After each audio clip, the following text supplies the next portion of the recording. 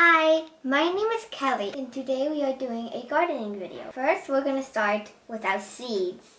We got these seeds from Amazon. They came in a huge pack, except except there's no fruits because you know fruits go like for years because they grow from trees, right? Over here is where we put them. So for example, let's say I want to plant a tomato. So I'm going to write tomato and put it into the seed holder. Over here we have some tiny Brussels sprouts from Long Island and there are like 250 seeds in here.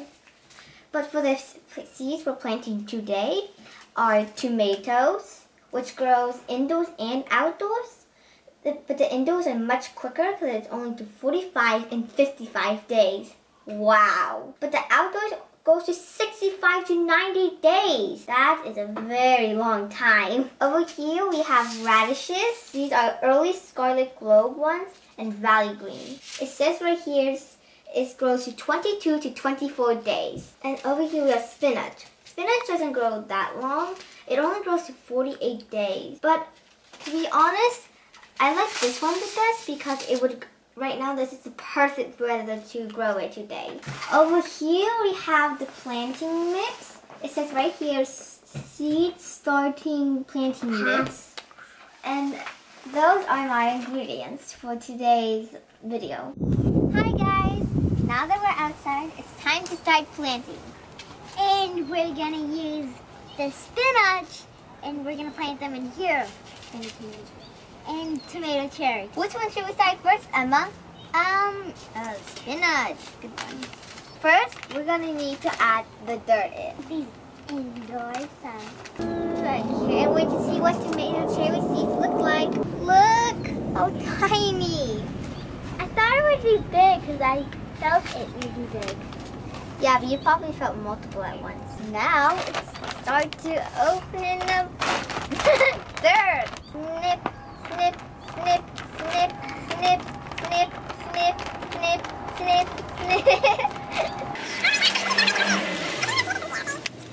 There. oh, it smells bad. well, it's supposed to smell bad. Some fertilizer is made out of cow poop. I'm gonna be mad.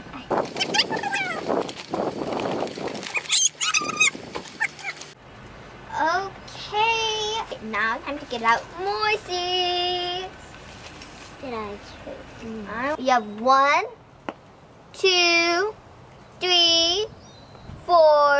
and five. Okay, now that we planted the seeds, it's time to go to the tomato cherry. Da -da -da. I think we might need to plant this indoors, so I'm not going to use this one, mainly because it's too small for the roots. But we also need to use it for the radishes. We are just going to use the small ones and we plant them. But first, we're going to have to write this down.